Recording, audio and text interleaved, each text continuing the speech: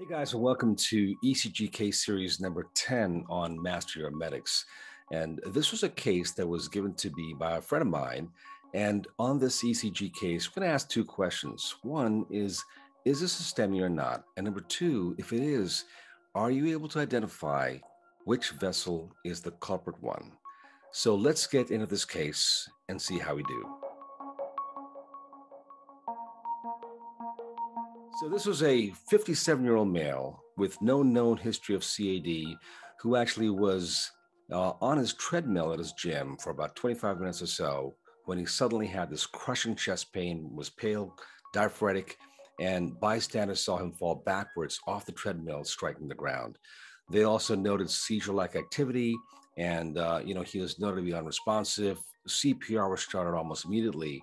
And when paramedics got there, uh, they uh, noted that he was unresponsive and they put him on the monitor, and this was his first tracing. Uh, based on this, you know, what do you think the next step should be?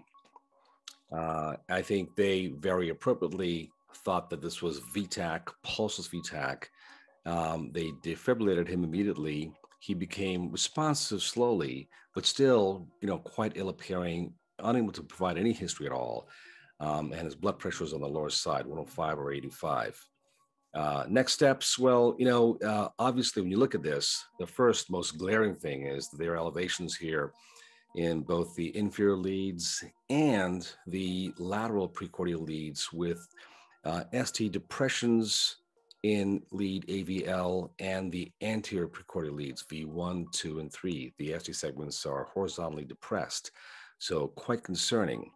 Um, but before we get into the ST segments and what they mean, um, you know, you ought to definitely go through a quick, you know, reminder or checklist of what the differential diagnosis is for ST elevations and depressions. Um, so after you do that, uh, take a look at the ECG and let's just break it down pretty quickly now. Uh, looking at the rate, uh, rate's about 110. Uh, that's easy. The rhythm, well, it's sinus and it's regular. Uh, every QRS, you know, follows a P wave. Uh, and unlike the first strip, where it's regular, but there are no discernible P waves, there are P waves here. So this is sinus and it's regular. That's, that's quite reassuring, I think. The axis looks like, well, uh, limb lead one, two, and three are upright, are positive rather, and um, AVR uh, is uh, down and AVF is up. So that kind of goes along with this all pointing to the sort of the bottom left corner uh, about the five o'clock position, making this a normal axis. Great so far. How about intervals? Well, the intervals are, they seem at least that they're within normal limits and kind of magnifying in on some of these here. The PR interval, you know, it's less than 200 milliseconds for sure. It's about 140 milliseconds if you count the boxes out.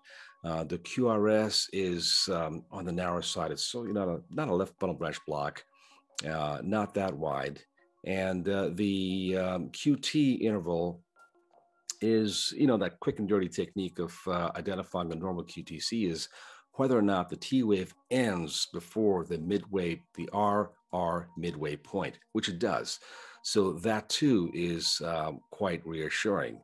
Uh, now, the ST segments, um, absolutely, there are elevations in the inferior leads two, three, and F show elevations, uh, along with uh, elevations in uh, the precordial leads of five and six. And then there are reciprocal depressions in AVL and all of the precordial leads. So that right there has a regional pattern to it, and that should be extremely alarming to you.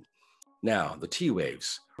The T waves should either be isoelectric in V1 or inverted, and never, never taller or bigger than the ones in V6. And in fact, here, uh, again, it's quite reassuring.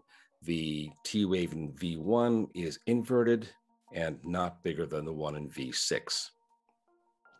Uh, the voltage, well, this guy was in his mid 50s, right? So if you saw um, a high voltage, and if you add the S wave in V1 and the R wave in V5, and it was greater than 35 millimeters, well, we'd be concerned about LVH there, right? So it is not. As a matter of fact, it's quite within the range of being normal in voltage. And so that too, I think, is um, is pretty reassuring for not this not being high voltage or LVH. And lastly, abnormal, you know, uh, waves, uh, unusual waves, and notching of waves are really not present. Maybe here can see some, you know, some slight notching here, but this just may be the QRS complex trying to become an incomplete block, an incomplete, maybe a left block, but really not quite wide enough to call it that as yet.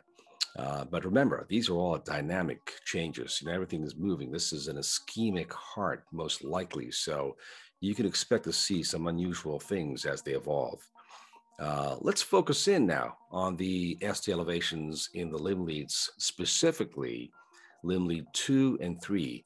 And what's notable here, what's notable is that the ST elevations, uh, specifically the J point in uh, limb lead two, is higher, greater than the one in lead three. So that by itself has some profound meaning, right? So when you see this pattern, when you see the ST elevations in two greater than three, and right, and ST elevations in the lateral precordial leads V5 and V6, you know, one thinks about um, the the possibility of an inferolateral STEMI. Inferolateral STEMIs are actually they present exactly this pattern, and there it is. The uh, culprit vessel most likely is a left circumflex artery. Um, remember that uh, takeaways from this case are that you know the left circumflex artery supplies the lateral aspect of the inferior wall, and because of that, you know, you see three things. We see ST elevations in two either equal to lead three, or because the net current of injury is in the inferior and lateral aspect, you can sometimes see, as in this case, that the ST elevations in lead two being greater than in lead three. Um, and uh, that in conjunction with ST elevations in the precordial leads V5 and V6 makes this um, quite uh, concerning to be an inferolateral STEMI, most likely due to a circumflex occlusion.